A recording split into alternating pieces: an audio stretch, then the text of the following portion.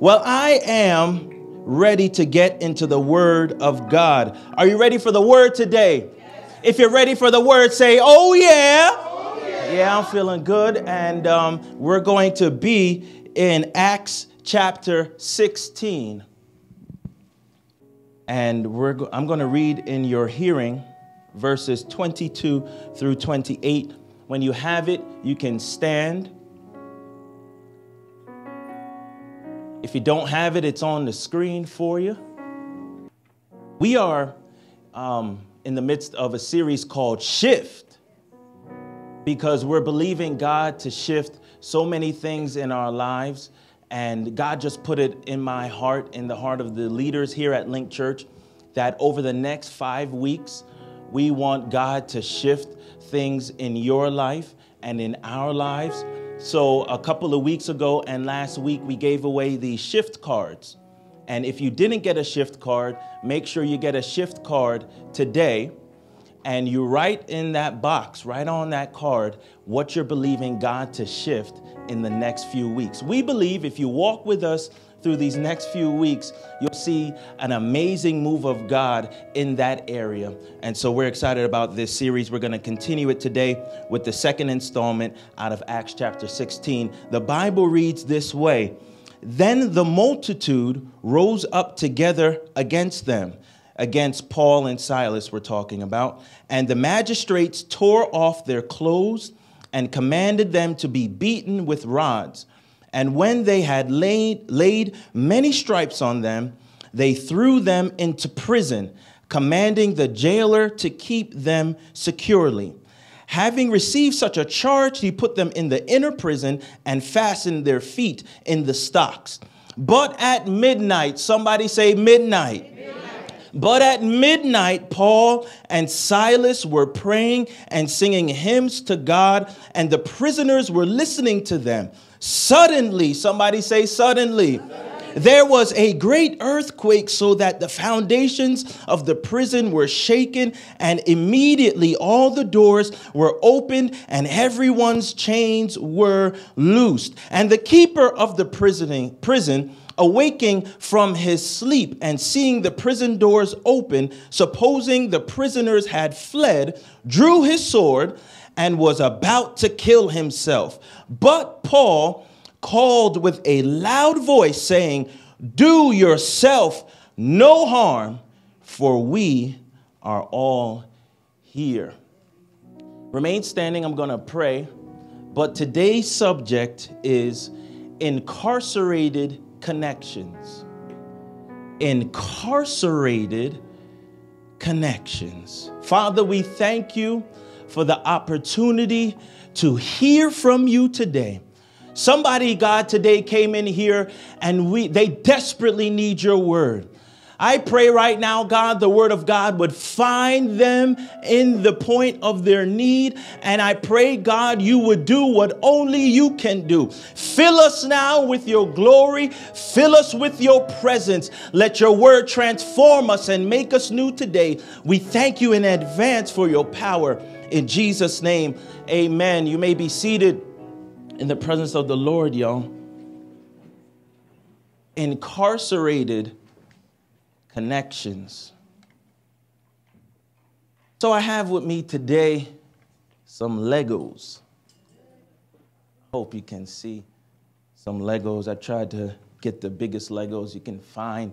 Um, not you can find, but the biggest Legos that I had because uh, when I was preparing for my sermon, I stole these Legos from my son, who is four years old.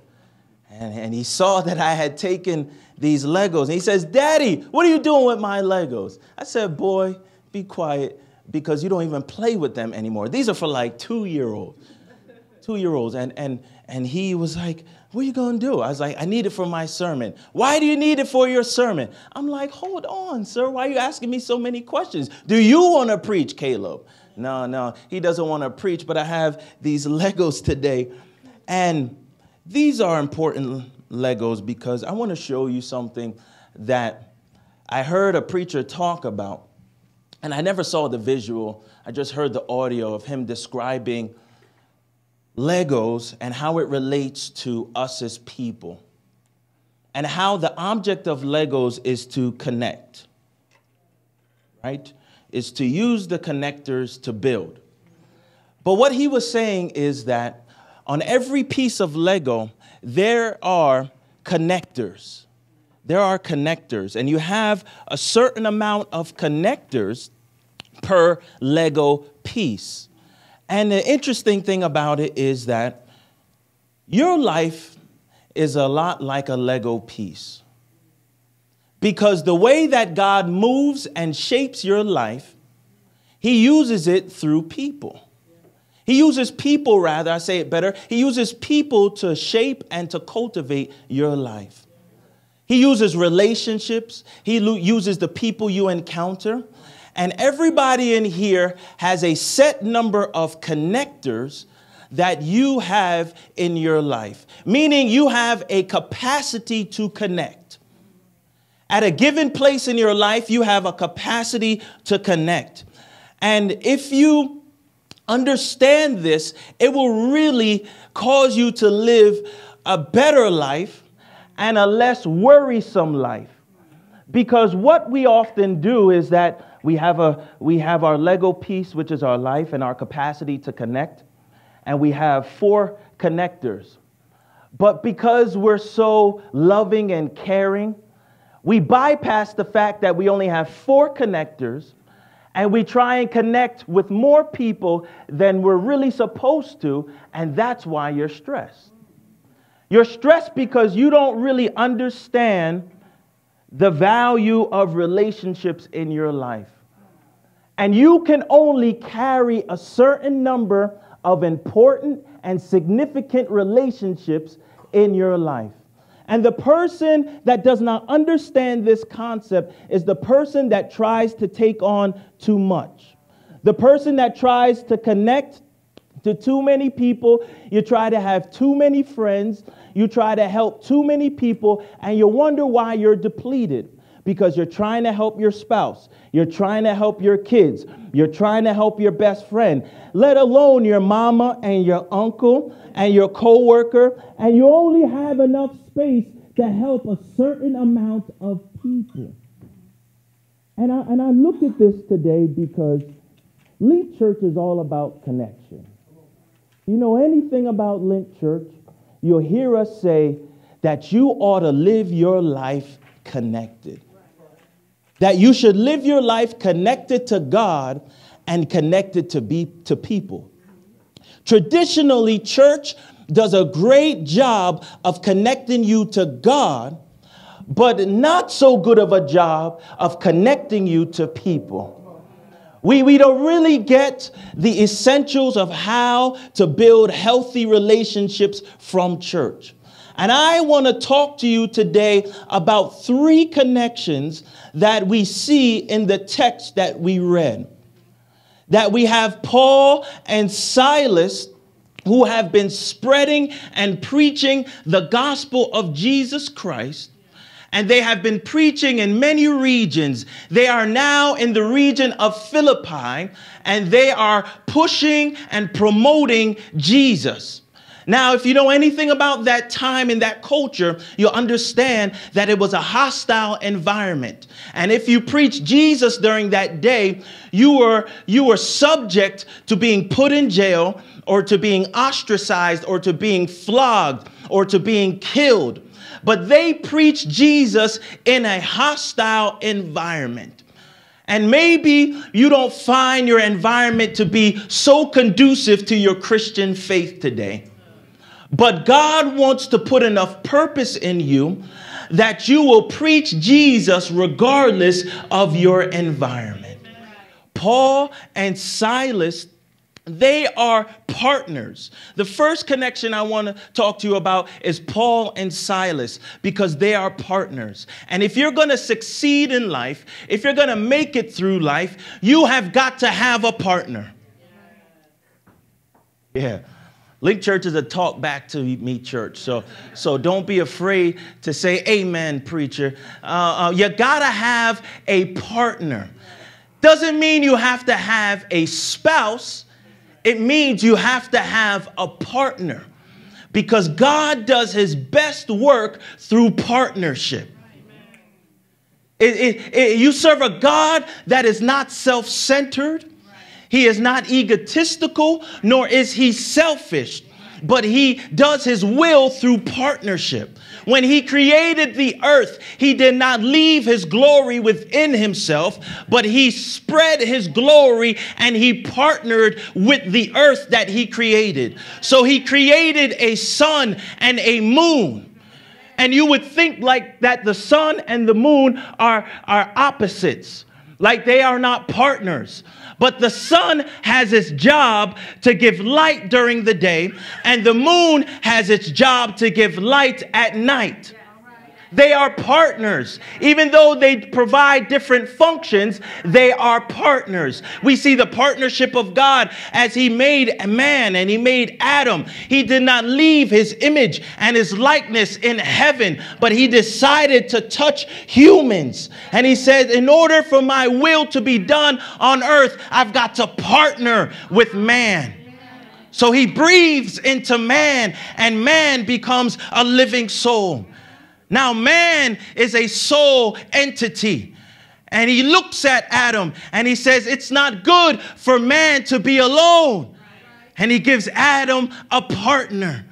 And he creates Eve. Can't you see the, the continuity and the path of partnership that you serve a God that is keen on partnership?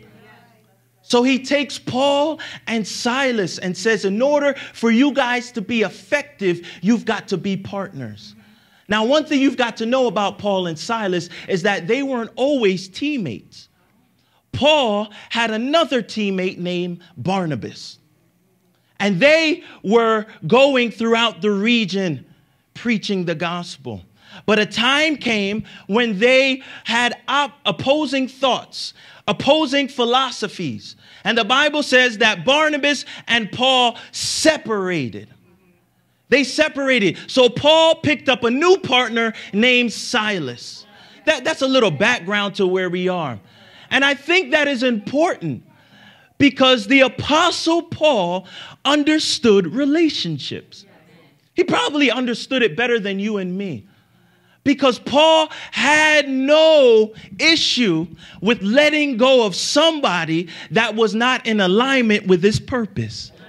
Oh, and there is somebody in here today you are struggling with letting people go. It does not mean that Barnabas is a bad guy. It does not mean that Barnabas is not saved. It does not mean that Barnabas does not love Jesus. It means that Barnabas is not tied to where Paul is going. So Barnabas becomes disposable. He can't take Barnabas with him because maybe Barnabas will not be able to push Paul when he needs to be pushed. And could you have somebody or some people right now in your life that are not going in the same spiritual trajectory that you are going in? Could you have some friends or some acquaintances on social media or some people in your phone that you need to delete?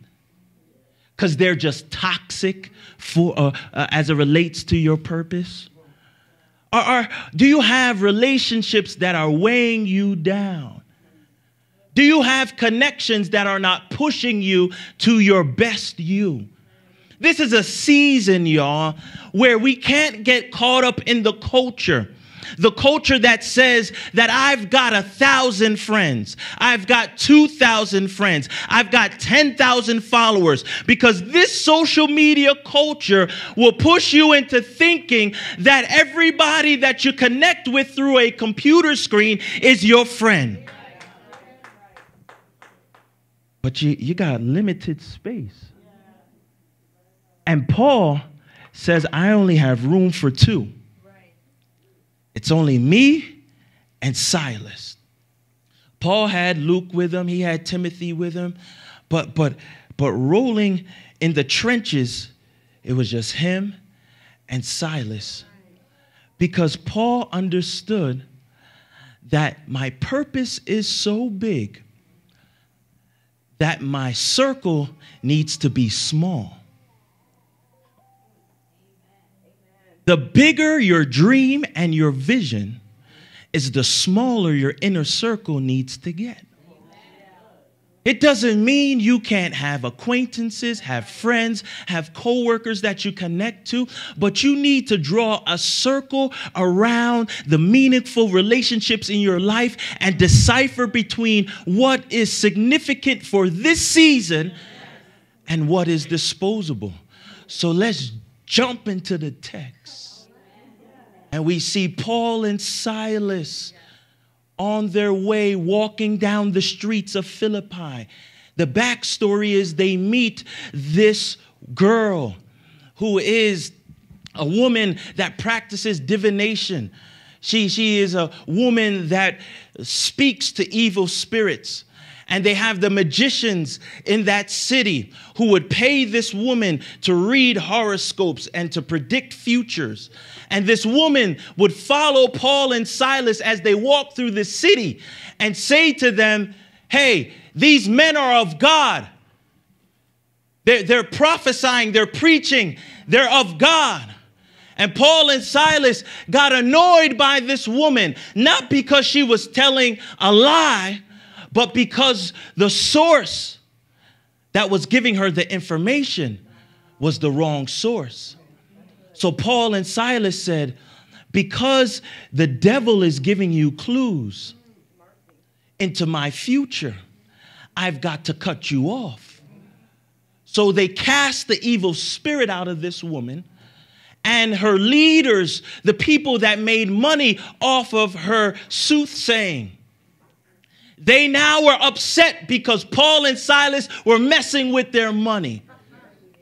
And when you mess with people's money, Oh, they change, they change, they change, they change, they change. If you were at Link Church a few months ago, I talked to you about Pastor Marcus. Yeah, Pastor Marcus. Pastor Marcus is, is a brother that you haven't met. Pastor Marcus is, is, is a brother that lives in a certain corner in my house. He, he is, he looks like me, he dresses like me. And sometimes he comes out and he says things that don't sound like Pastor Mark. It sounds like Pastor Marcus because Pastor Marcus is the petty pastor. Pastor Marcus is the pastor you don't want to meet. Pastor Marcus is the pastor that you got to watch out for. And you're looking at me and saying, Pastor, how can you have a Pastor Marcus at your house? that sometimes will rear his ugly head and sometimes will say things he shouldn't say and think things he shouldn't think. And I want to say to you, you got another side too. Don't look at me that crazy. You got somebody that you left at home today. You put your church clothes on, you put your church face on, and you left them at home because they are not welcome here at Link Church. But let somebody get on your nerves. Yeah, let somebody step on your toe wrong.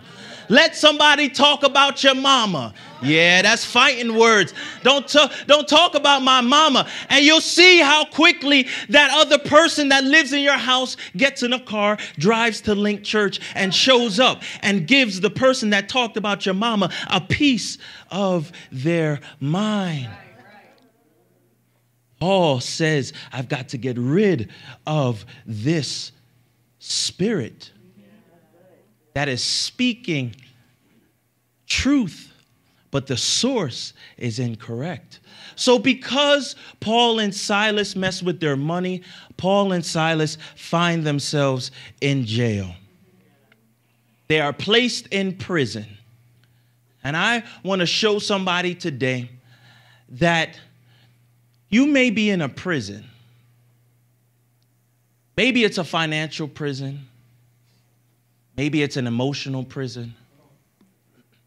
Maybe it's, in a prison, it's a prison in your family. Maybe it's a prison in at your job and you, and you just feel like, how did I get here? How did my marriage get here?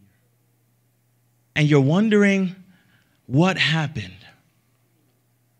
But I want you to see that there is purpose in the prison. Who told you that your prison is not connected to your purpose? Who told you that you would not have to go to prison? Who told you that your emotions wouldn't ever live in a prison? Who told you that your business wouldn't ever be so locked down financially, it'll feel like it's in prison? I want to show you that Paul and Silas were incarcerated, but they were incarcerated for a purpose. Because your prison is the pathway to your purpose. And we have been conditioned at, as Christians, especially in our Western culture and our Western theology as it relates to God, we have been conditioned to think that prison is not the path to purpose. If you lived in certain remote Eastern countries and remote Eastern cities, they go to prison for preaching Jesus today. They understand that physical prison may be the pathway to their purpose. But we over here in our comfortable, air conditioned uh, uh, Christianity in America, we feel like prison is not the path to purpose. You know why we feel that way, Osby? We feel that way, man, because prison is a place of isolation. And I told you before, it's not good for man to be alone. And what prison does is it cuts you off from relationships.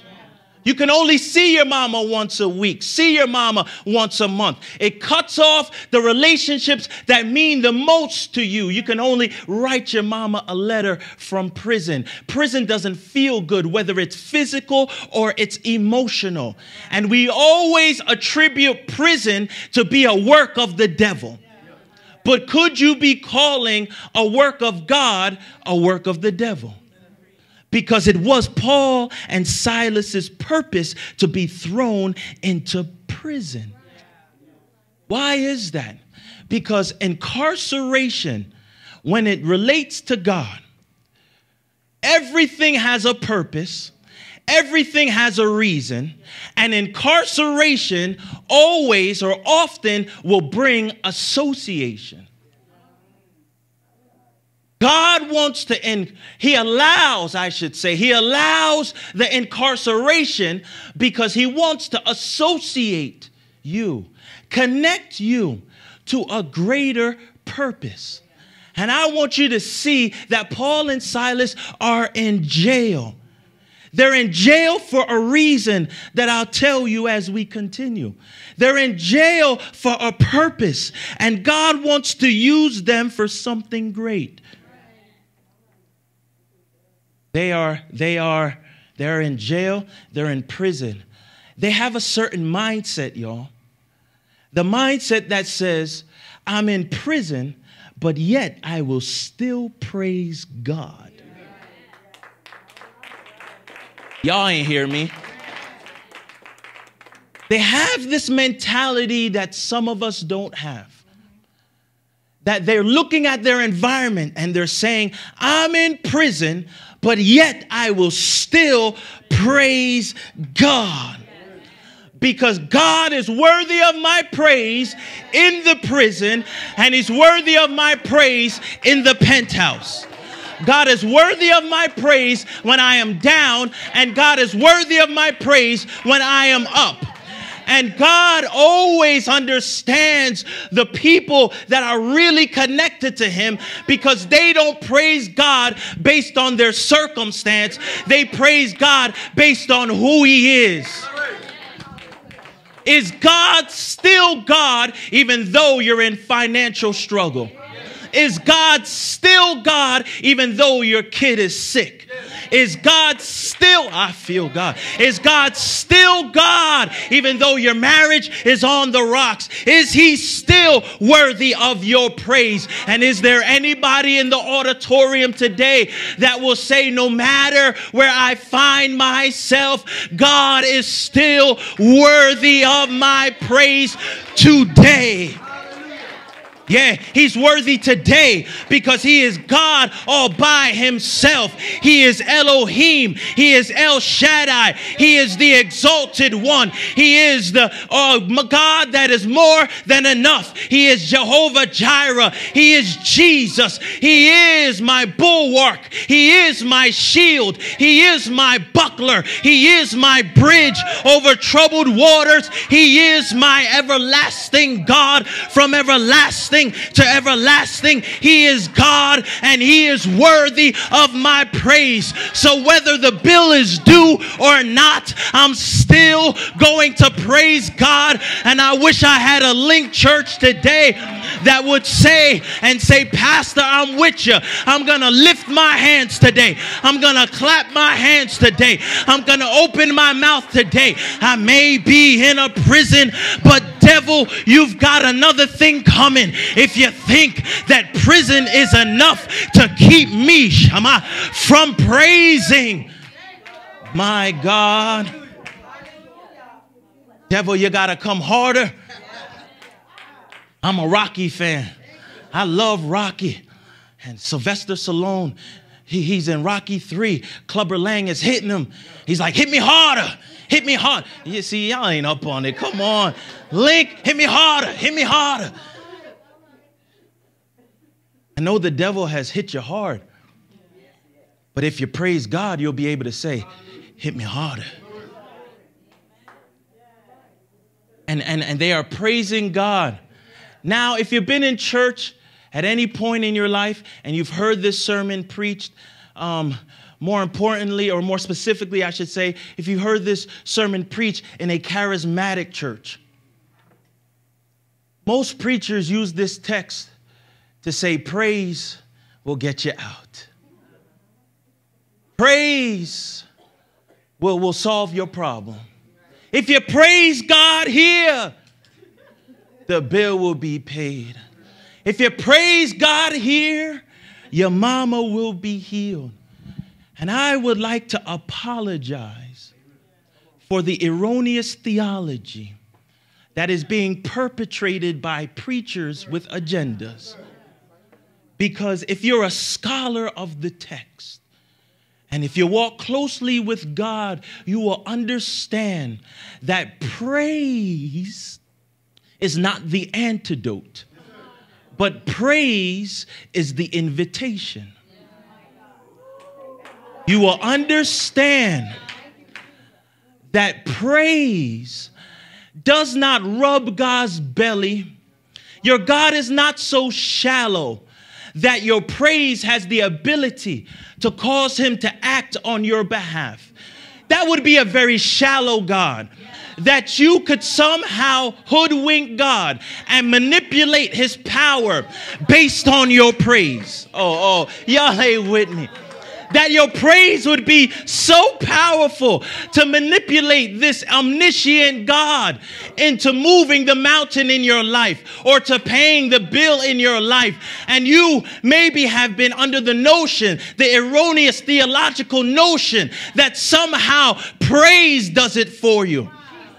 But I want you to look closer at the text.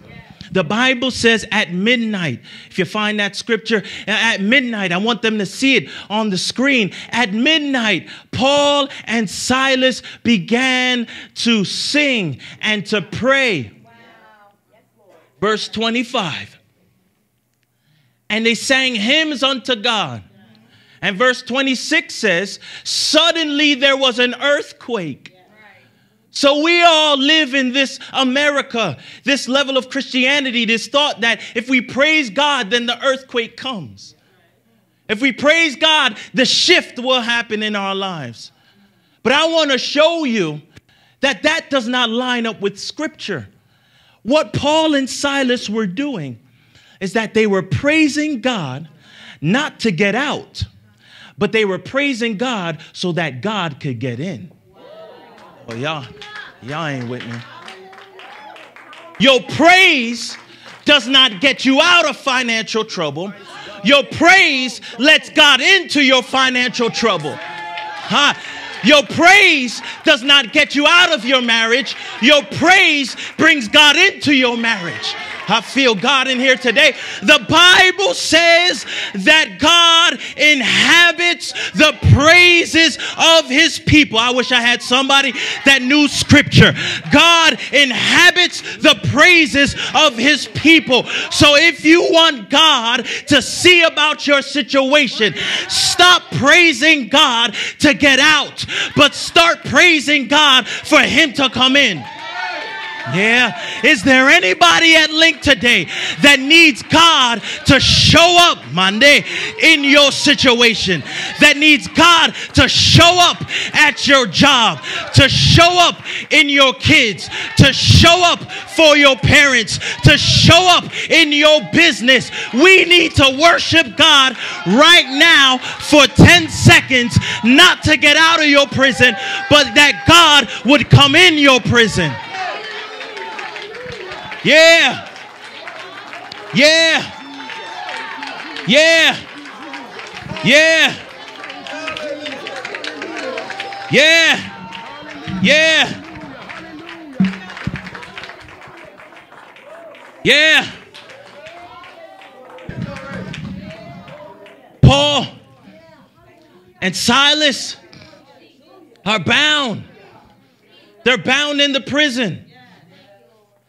Praise does not get them out. God gets them out. There's a difference. Praise is you. God's power is him. And what they were saying is that we're praising God for who he is. We're not praising him to get out. How do you know that, preacher? Read the text. Somebody turn to your neighbor and say, Read the text. We're, we're establishing a church here that you will read your Bible. Why does your pastor want you to read your Bible? Because people will say a lot of things that are not really in the Bible. And if you don't read your Bible, you won't know. So you shouted off of a message that says praise will get you out. No, God will get you out. And and and why, why then, Pastor, if I praise God here and I go home and it's shifted and my bills are paid and then the thing I'm believing God for, it happens? Why does that happen? Was it my praise? No. Your praise invited God in and He decided to work. But what do you do when you invite God in and He decides not to work? They're, they're in chains. And you don't praise God you praise God hoping He works, but you don't stop praising Him if He doesn't work. They're in chains and they praise God, and, and their chains fall off. If you could put the scripture up, I believe it's verse 20, yeah, 26, you got it. It's up there. And, and, it says, The prison doors were open. There was an earthquake, and their chains fell off, and the doors were open. This, what happens next, is so significant. And this is why I believe Paul and Silas weren't praising God to get out, they were praising God for him to come in. And I believe that because in verse 27, it says that the keeper of the prison, the jailer, noticed that the doors were open. And he got up from his sleep and he says, Oh my God, I failed. They told me to keep these prisoners secure. And more specifically, Paul and Silas are in here. And they told me, don't lose these two. And now the doors are open. Uh, they're going to kill me. And because he, he's in, under Roman rule, he knows what they do to people that mess up. He doesn't want to go through the abuse. He says, let me kill myself quickly. And Paul, he, he shouts from the back of the cell and he says, Hold up, jailer. Don't kill yourself. Verse 28, it's on the screen. We are all here.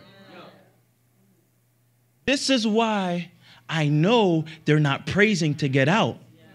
Because when the doors open, they don't leave. Oh. They, they don't leave. they don't leave, y'all. What makes people that are innocent stay in a prison? What is the power? It's not the shackles. It's not the bars on the door. What is keeping Paul, Silas, and the other prisoners? Not just them, all the other prisoners, the criminals, the murderers, the thieves. They all stay. What is keeping them? Purpose is keeping them. Because I told you incarceration brings association. And Paul and Silas realize that God has placed them in the, per, in the prison not for them to just say, an earthquake happened, we experienced God, and now we are shifted, and now we're doing it for ourselves. But they realize it's not about their shift only, it's about somebody else and something is holding them in the prison, y'all. And I want to tell you, purpose has a power that a shackle, a bar, a, a depression, a, a, suicidal thought, a low self esteem, a bad habits, purpose has a power that those things don't have. And maybe last year you were in prison because you were so depressed. And, and you got out, you came to Link, you're starting to feel better, starting to feel free. Why are you still in prison? It's because purpose has you there. Because purpose will hold you hostage. Because purpose is always about somebody else, not about you because God uses your purpose to impact somebody else. And purpose will hold you in contempt and won't take you out of financial struggle because there is somebody that is connected to your prison that God will uh, release you until their life is changed. The jailer is about to commit suicide. And it's the voice of Paul. If Paul would have left, the jailer would have died. If Paul would have left, his family would not have been saved. But Paul stayed. Purpose held him because his purpose was connected to the jailer. You're saying, Pastor, this is an isolated scripture. I want to tell you that Jesus is a model for so many things. And your Jesus did the same thing.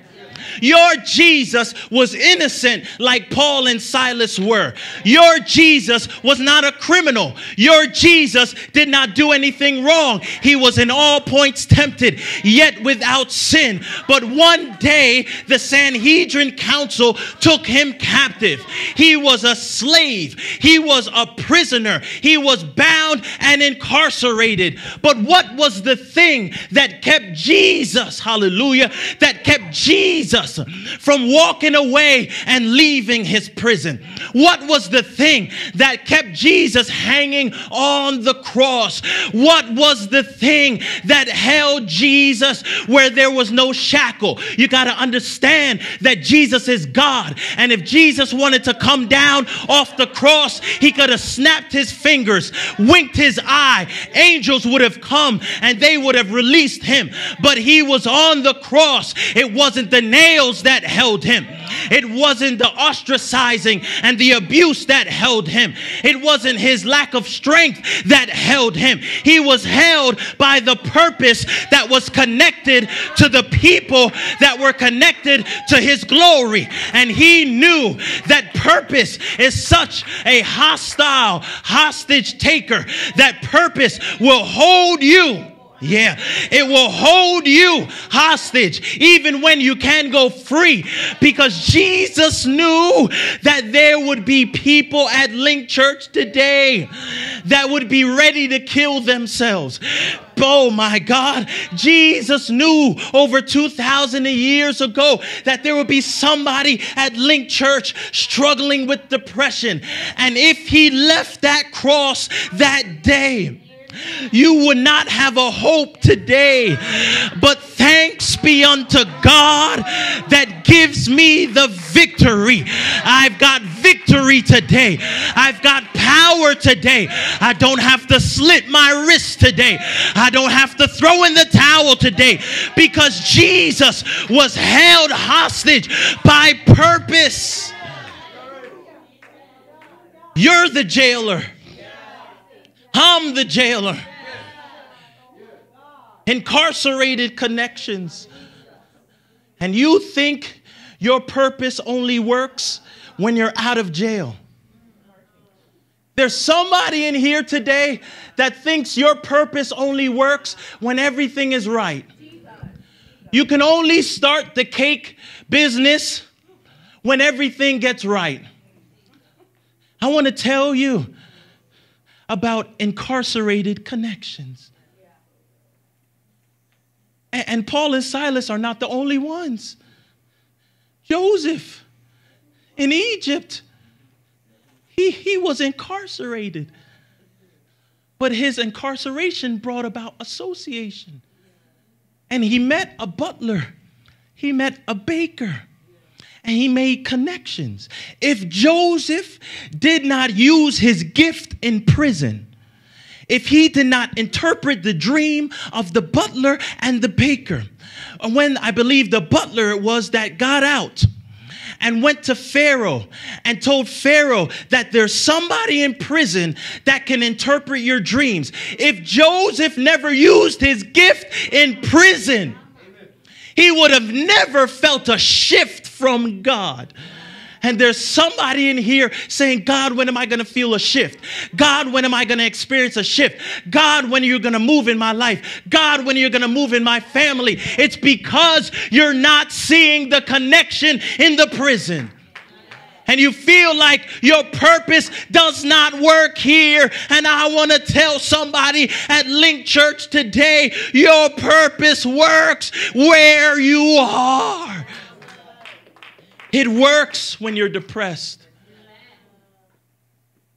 Because your depression is connected to that coworker who looks at you and says, how, how did you get out of your depression? I, I want to connect y'all to people out there. The, the, the point of Christianity is for you to be relational and to use your passion and your purpose. Maybe your passion is playing basketball. There's somebody you play with every week at the gym that is connected to your purpose, but you feel like my purpose doesn't work here. It's about incarcerated connections. And so Paul and Silas, this jailer, is connected to them. And if you keep reading the story, you'll see that the jailer comes running into the prison. He falls down, y'all.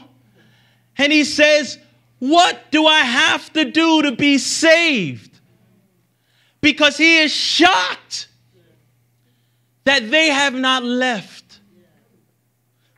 He is shocked that they have not escaped.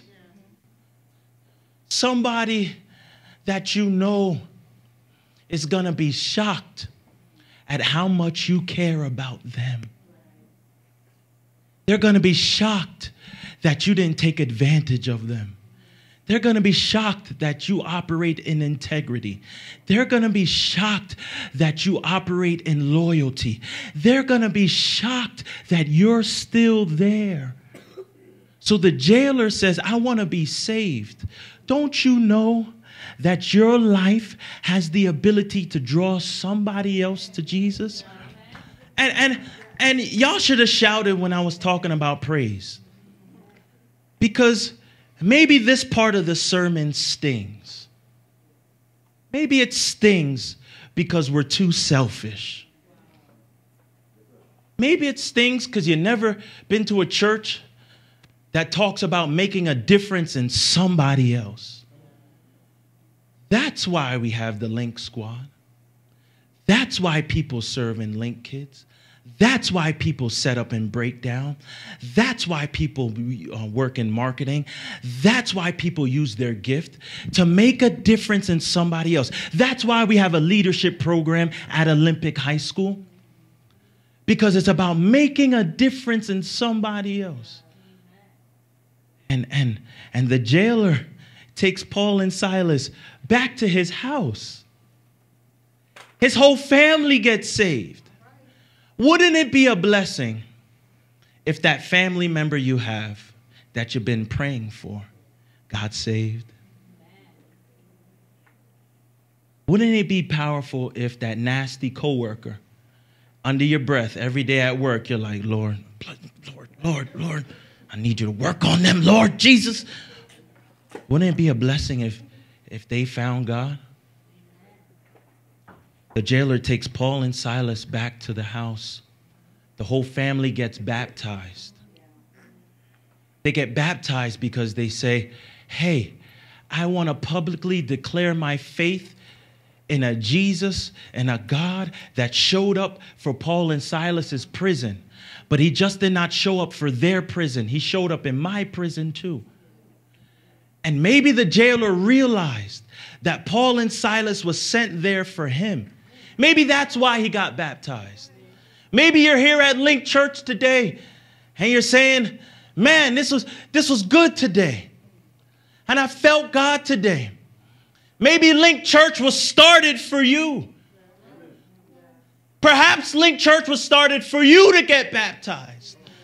Maybe they set up the pipe and drape today for you to see Jesus and his whole the jailer's whole household gets saved. Now, I don't know if y'all got the last scriptures up. Everybody stand because I'm finishing here. I want you to see this. Paul and Silas go back to the house, y'all, and they stay. The next day, in verse 34, they brought them back to his house they rejoiced and believed in God. Next verse. Yeah. That's all you got?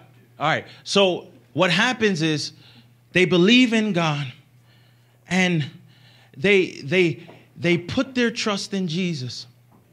And something significant happens because the magistrates, the leaders that put Paul and Silas in jail, they say, you got to release Paul and Silas. Release these prisoners. Paul says, I'm staying. Don't release. Y'all got to read it when you go home. I wish I had it. You got to read it when you go home. Paul says, I'm staying. Don't release me. In fact, if you want me to leave, come and come get me yourself. Come get me yourself.